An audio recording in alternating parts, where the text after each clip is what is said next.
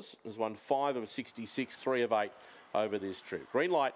The Jared Larkin concreting race six, second leg of the quaddy. They're ready.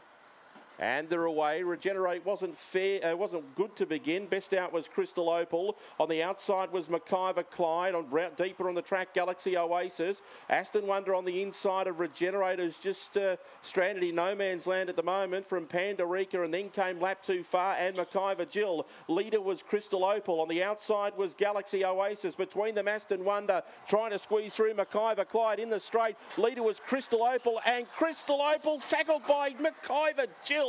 McIver Jill has rattled home on the rail and might get this over Crystal Opal. Pandarica will run third. Fourth really close. Lap too far, McIver Clyde. Regenerate was right on their heels. And uh, also their Galaxy Oasis and Aston Wonder came in along last. 28 9 to 8 the time. And McIver Jill has got there in the last couple of hops. 6 5 3 and 8 straight up on the board. 6 5 3 and 8. McIver Jill has grabbed Crystal Opal right on the line. Pandarica's run third and McIver Clyde fourth. Six, five, three, and eight.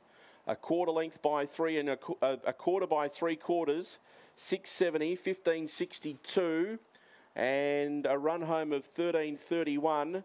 The overall gallop 28 9 to 8. Number six, McIver.